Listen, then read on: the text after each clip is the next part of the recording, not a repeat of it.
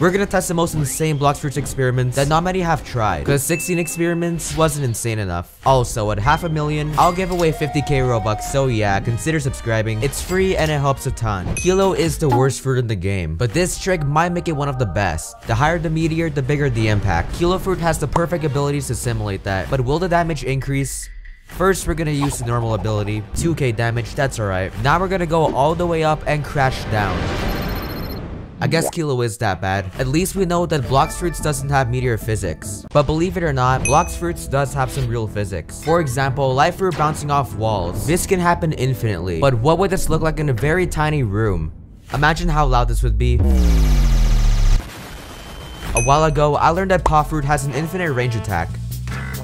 Wait, that actually hit? But is this actually true? We're gonna see if the heavy paw can really travel infinitely. Fire the paw, and now we chase it. I'll be surprised if it actually keeps going. Yup, it despawned, which means Paw does not have infinite range, but it's still amazing for fighting. Is it possible to use a fruit without having a fruit? Okay, let me explain. In the first sea, there's a prison area, which has a fruit remover, but what if you use a fruit's ability, then remove the fruit? Use the ability, remove the fruit, and I still have the transformation while having no fruits equipped. But what if I equip another fruit? Will I have multiple fruits? I mean, hey, at least I keep my speed. Let's compare the three fastest fruits to see which one comes out on top, starting with the dough fruit. And we're off to a fast start. I kinda forgot to awaken them, but this race is still pretty balanced. Alright, that's pretty good. Though I wonder if the light fruit can beat that time. Light is regarded as the fastest fruit in the game, but I think the one after can beat it. But it's way faster than dough fruit. You may be thinking, what is possibly faster than light? Well... I think we have a winner. Portal Fruit is obviously the fastest. Speaking of the Portal Fruit, it has an ability called Dimensional Rift, which kinda works as a black hole, an inescapable force. But for this ability, we're gonna see if an enemy can escape. Can I run out? Nope, I get sent back. Surely I can teleport. Never mind, the only ways to escape is to reset, kill the host, or wait a painful amount. Finally, is it possible to awaken a fruit without doing raids, which may sound simple, but aren't raids the only way to awaken fruits? To do this, you need to somehow get in the raid box. You head down this hole, which leads you to this platform. Use flash step to no clip, then head to this small surface next to the box. Go to this platform, and finally flash into the box. Can I awaken my light fruit? You cannot talk to this NPC. Alright, you're getting it now.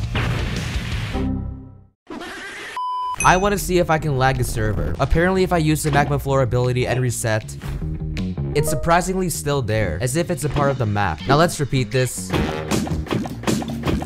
Yeah, I'm already getting frame drops. Experiment is successful. There are many fruits you can awaken, some being more difficult than others. For instance, Flame is a piece of cake to awaken, while Buddha is a big pain, unless you're Numberskull. But what if you complete a raid and switch to a better fruit and finally awaken it? Well, here goes nothing. That was eventful. I just ate a dough fruit after a flame raid, so let's see if we can I guess not.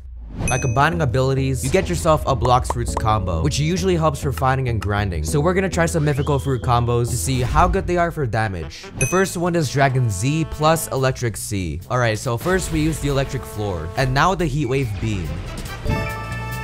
7k damage is pretty good, considering my moves are kinda low level. The next combo is Venom C plus Venom F. First, we use Venom C, then Venom F right after. The Fog and Serpent are both poisoning the enemy simultaneously. And finally, release F. In total, we did 14,000 damage, but at best, we could have done 50,000.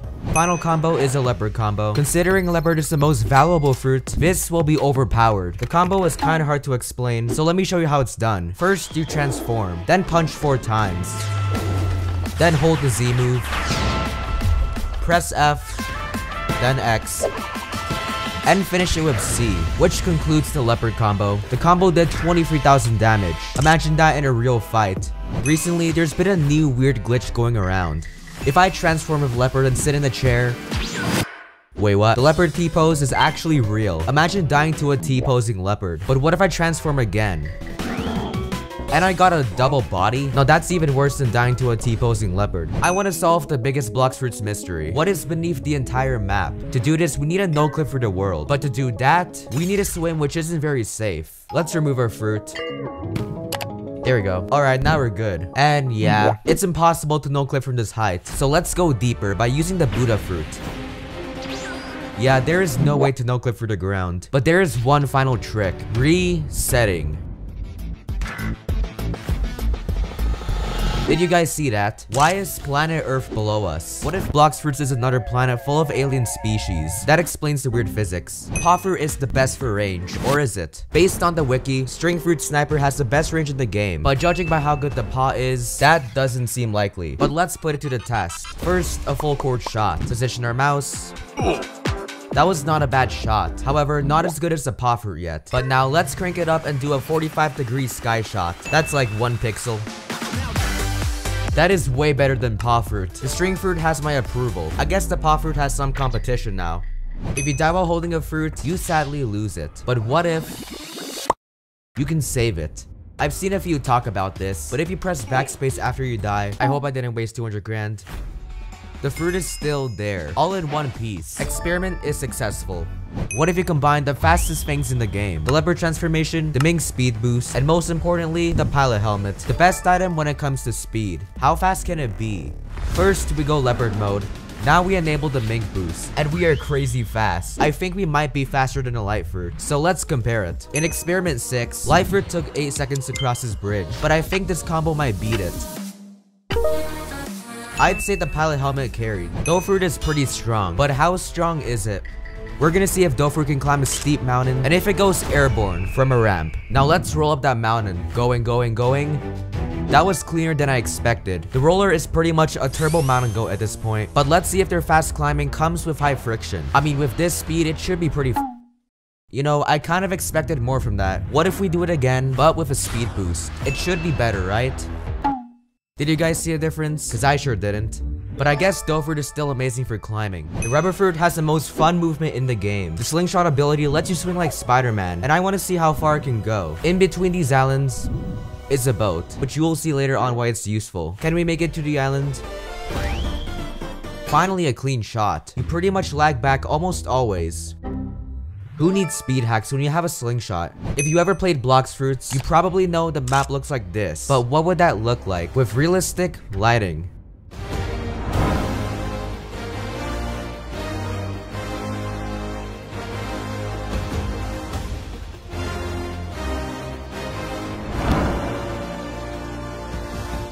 Imagine if the game was always like this.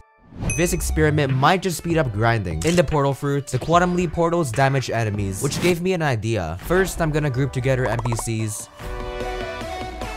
Alright, they're in a group. We go above them and use the quantum leap below. If I leap them in the portals, the enemies take damage non-stop. By repeating the process, you get free kills which means free XP which means free levels. We ran a total of 20 experiments, but there's a final one I want to test, and that is if we can reach 500k this year. Press subscribe if you want to be in the experiment, and if we get 20k likes, I'll do a video on the entire history of Blox Fruits. But for now, that's a wrap.